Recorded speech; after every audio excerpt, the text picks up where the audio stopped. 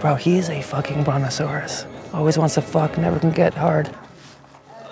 Dude, it's good to demonize the enemy before Yeah, you have to. yeah, yeah. It's good to demonize him before you have to kill his ass. In this last episode, the task for Kendall is to stage a hostile takeover and, in a sense, prove his strength to his father.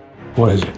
It's a proposal to buy Waystar for $140 a share. Is this a fucking bear hug? That's right. That was a really hard thing to do. I think there were some takes where I was shaking, and Brian, as the character of Logan Roy, is quite formidable. Fuck off. I find myself feeling a sense of what have I done on the day of my sister's wedding. Shiv is totally overwhelmed by this wedding, and Kendall's just adding to this tension and this drama. No one, no one can ruin this. Halfway through the wedding, she realizes that she doesn't want to be married.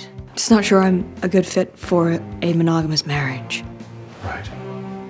Asking for an open marriage. I think Shiv's just a total commitment phobe. There's a sort of state of grace with Tom because he manages to forgive her and maybe come to see her point of view. I do love you. I love you too. She wants to have her cake and eat it too. Fuck. And Tom's the cake. The predicament that I found myself in throughout the show happens again here. Things just don't ever really work out for Kendall. part of the sequence where the character is making his way back to his room unseen by anybody.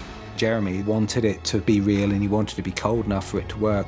He literally asked for us to have ice buckets of water up on a hill, and before a take, we would pour buckets of ice cold water over his head. A level of commitment that I'm absolutely astonished by. It was quite extraordinary. Logan wants a word with you.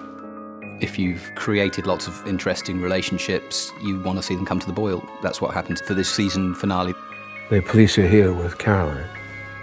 In that final scene, this opportunity presents itself to Logan and he ruthlessly exploits it.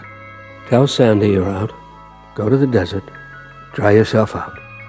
For me, that scene is an unspoken confession. I wasn't there, so.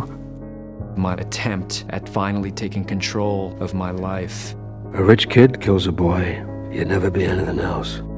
And of course, I can never really break free from my father.